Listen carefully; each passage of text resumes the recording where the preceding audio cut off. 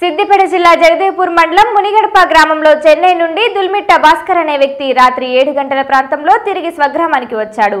విషయం తెలుసుకున్న పోలీసులు వైద్య సిబ్బందితో కలిసి తీసుకోవాల్సిన జాగ్రత్తలు చెప్పి అతన్ని హోం క్వారంటైన్ స్టాంప్ వేశారు.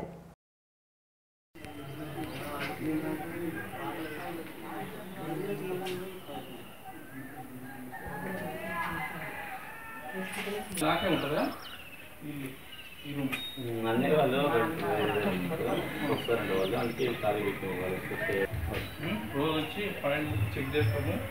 నువ్వు ఇంట్లో ఉంటున్నావా బయట తిరుగుతున్నావా అని చెప్పి అందులో మేము నోట్ చేసిపోతాం. అండ్ ఇంకోటి ఈ ఇల్లు జియో ట్యాగ్ అవుతుంది వన్స్ నువ్వు స్టెప్ అవుట్ అయినావు అనుకో కంట్రోల్ మెసేజ్ వస్తుంది.